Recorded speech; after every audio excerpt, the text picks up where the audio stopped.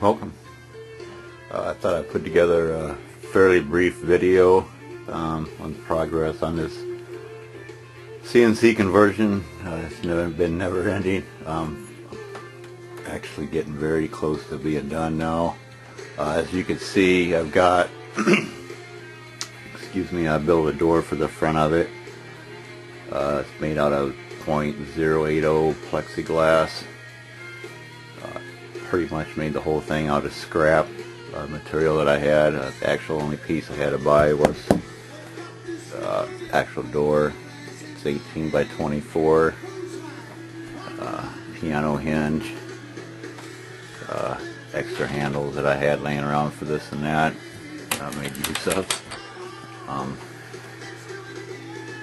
should work pretty good. Um, I have ample room in here still to get in here adjust anything, put anything on it so they won't interfere with uh, getting in the way of anything. Um, should pretty much retain any chips, uh, coolant from splashing, flying out and stuff out the uh, end mills and whatnot. Um, I do have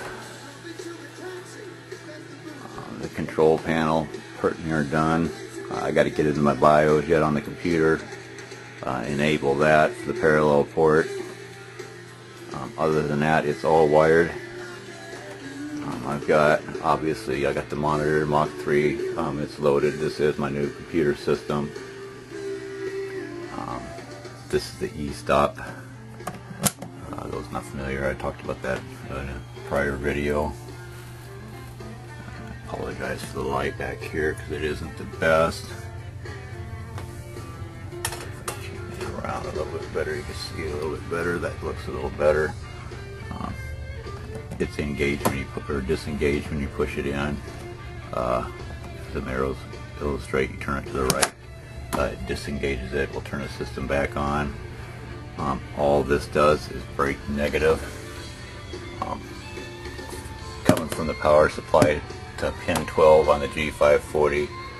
Uh, that will stop uh, all the processes of the G540 uh, as far as your spindle, uh, all the steppers, uh, home switches and whatnot.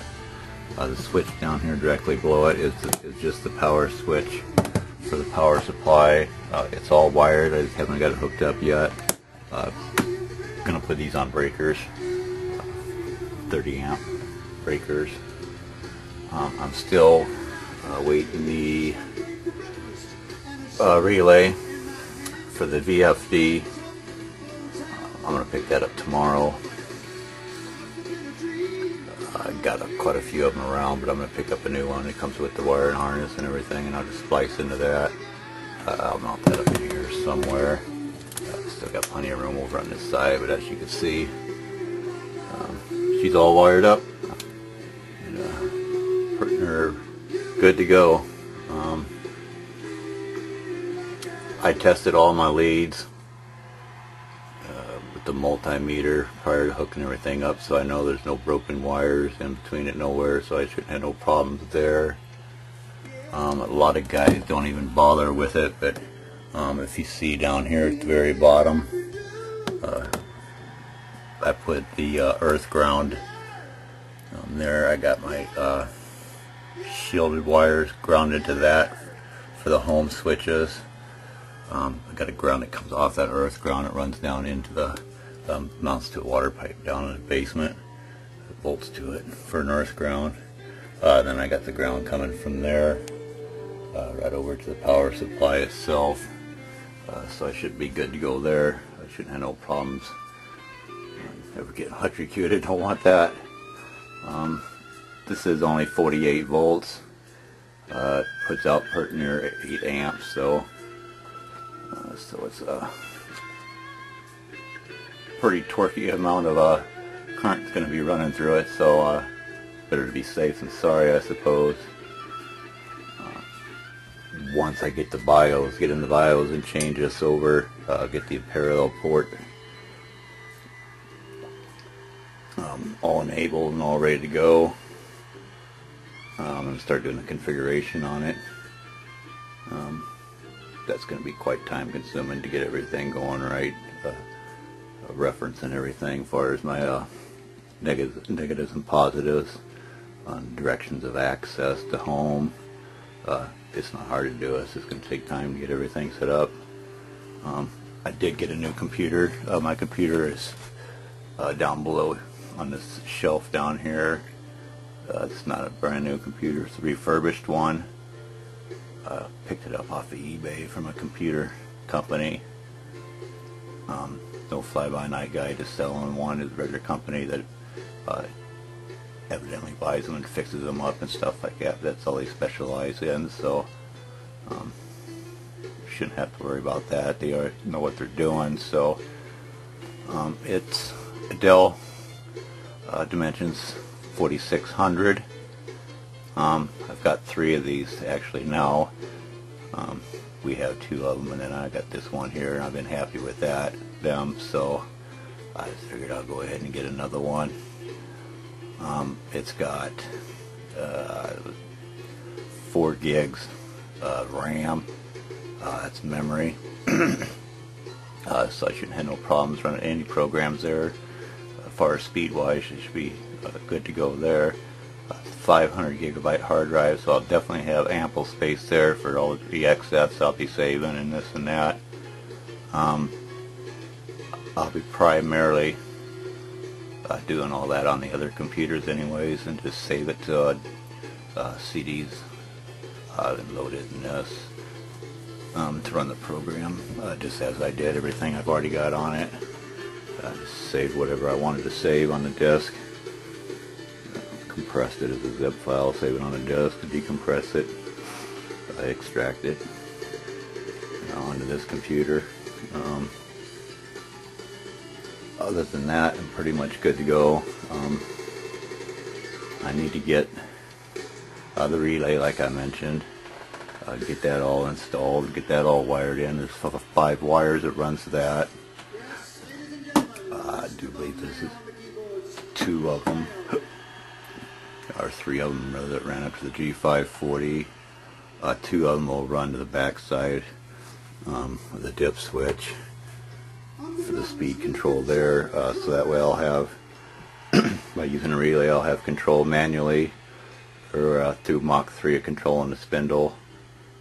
Um, and what I'll do more than likely is program all that in my CAM program uh, per job for as far as spindle speed and it'll once it switches to that program or whatever it automatically go up or down uh, whatever is required for that job really um, be a lot of trial and error there till I get all the spindle speed and the IP I'm all figured out uh, per cut and everything and uh, make note of that. Uh, that's what's nice about your files. You can just make a note in it uh, or save it to uh, automatically to go to that speed or, or what have you uh, as far as your spindle speed. Um, that pretty much covers it. I can't really walk too much further back in the back room. Back here is uh, kind of narrow, as you can tell. Um, other than that, I'm just about ready to go. Uh, I'm really looking forward to getting this thing all converted or all uh, configured. It's been a long time since I've done any CNC uh, stuff. Uh, like I mentioned, I've done it before uh, many years ago, but uh, it shouldn't be too much uh, of a headache to figure it all out. The things are so advanced nowadays that um, saves a lot of headaches, makes a hard job easier actually, uh, for me at least. Um, even though it's not mechanically inclined, Mach 3. They've got excellent tutorials, um, PDFs that you could save as well, uh, videos that you could save. Um, I put quite a few of them on YouTube, if you haven't already noticed that, as well on my site. Um, I just want to stop in real quick, like put together the video for this, though. And, uh, hopefully in the next videos, and from here on out, it's going to be on uh, probably a couple of videos of configuring of this and that um, problems that I had wrote, wrote, ran into. Um, I want to put them online so people could see that, know that too, so it'll maybe help somebody else down the road. Um, I've watched a ton of videos on configuring and this and that that's really helps, and I'm really glad them people did too, so um, I'm pretty much going to do the same thing, so help somebody that's setting them up and going through the same procedures. Hopefully once I get that all done, I'm actually going to start doing the machine of the parts. Um, I will do quite a few dry runs. Uh, I'll put together videos on them as well. Uh, the first actual part that I do after I do a couple dry runs, uh, I'll probably do uh, one or two parts in wood um, with the correct tooling and everything just to make sure everything looks right. Um, comes out like it's supposed to. Uh, it's a hardwood. Uh, once that's done, then I'll actually first program I'm probably going to run. Um, once I'm happy with the results, uh, will be that Pro Mod rear end.